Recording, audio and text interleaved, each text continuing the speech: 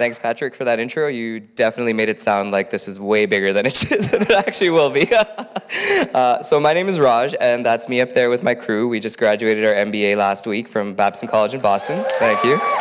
Uh, it's quite the diversity PSA, no? so I'm one of the co-founders of hashtag QMI, stands for hashtag Queer Much Information. And basically, we're an Edmonton based dialogue group that seeks to gather people at queer businesses, games nights, cafes, or homes and just talk and validate each other's experiences. It's generally an open, safe space for everyone. There's no judgments, no preconceived notions, cis people are welcome, and questions are welcomed.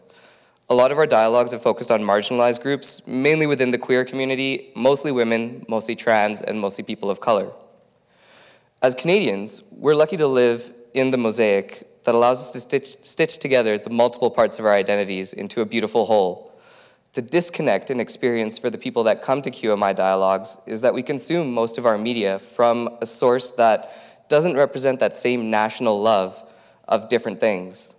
It's a fact we have to accept because of the size of our country, but it's not something that we can't act upon in our own ways. This disconnect in media representation specifically affects the queer community as people that are generally the butt of jokes and foils for larger storylines. It breeds contempt for oneself in not being able to match what is given to you as the ideal. Just think for yourself for a second. If you're presented with an image of something that there's no way in hell you can match, how would you feel? You'd feel like shit, let's be honest. So, what is queer? Queer is anything that differs from the norm. It can be pansexuals, bisexuals, asexuals, homosexuals, transsexuals, transgenders, and everything in between. It's a placement of oneself outside of the norm, of the norm in the mainstream. It's an identity that's perfect for social critique. Queer is not a bad word. It's an owned word, a negative word that's been given a positive connotation by our own community. But the problem is that that's one word of hundreds and thousands that are hurled at these marginalized groups. And the effective language is this self hate. Language is key to how we perceive ourselves, how we understand ourselves, whether we think we can survive, and more importantly, whether we think we can thrive. It's how we understand ourselves, and if you constantly hear words like worthless, useless, disappointment, not to mention an entire dictionary of insults that I cannot say up here, you slowly chip away at the core of a person. You destroy them from the inside. And this leads to abuse, alcoholism, and drug use. But a core outlet that I've found that has been instrumental has been art. Writing, painting, sculpting, singing, these are non destructive outlets that have historically advanced our society. Queer thinkers and philosophers have changed the world because they took the scorn thrown on them and turned it into expressions of love through their works. People like Leonardo da Vinci, Florence Nightingale, Virginia Woolf, Oscar Wilde, these people changed how we saw ourselves as people and how we saw ourselves as societies. We need to realize that we are conditioned by the media surrounding us at all times to use language in a certain way.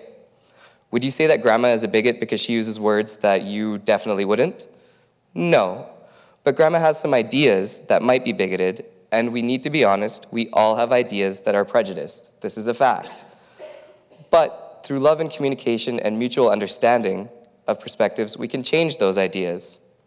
This is why I propose to you, my Edmonton family, that we create a place to aggregate all of the artistic expressions put out there by marginalized groups, an exhibition or festival of some kind.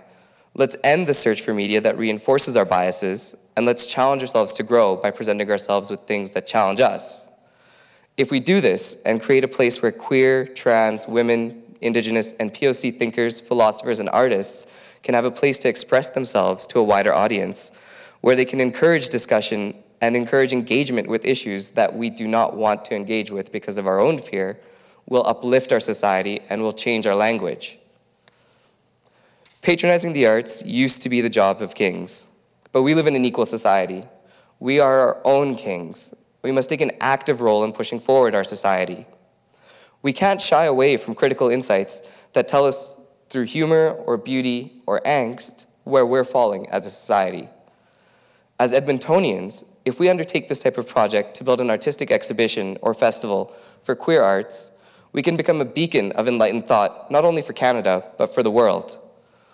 We can show all marginalized groups across the world that if nowhere else, Canada is your safe place. You are valid and you are valued. When someone feels valued, they don't turn to self destructive behavior, they uplift those around them. This is why humans are here at this point in civilization. We challenged ourselves, and we can't stop challenging ourselves. By re engaging with art that is not superficial, that is different, and that requires you to change your perspective to understand, we will enlighten ourselves. We will change our language. We will change how we understand others and how we understand ourselves. We could start the next Renaissance by extending our hands to those that feel rejected and giving them a space that is safe, engaged, and willing to learn rather than wanting to shit all over them, will uplift our entire society. Who knows? We may have the next Virginia Woolf, we may have the next Oscar Wilde, we may have the next Leonardo da Vinci sitting right here. That person that's been rejected but just needs a little space and recognition to feel whole again. A space where we can understand them through their perspective and through their art. I, this might all sound like fluffy BS, I understand. if you think this is all BS, that's valid. And let me remind you of one person that was cast out of society and changed how we perceived ourselves. Maya Angelou said, I knew then what I knew how to do. Now that I know better, I do better. Thank you.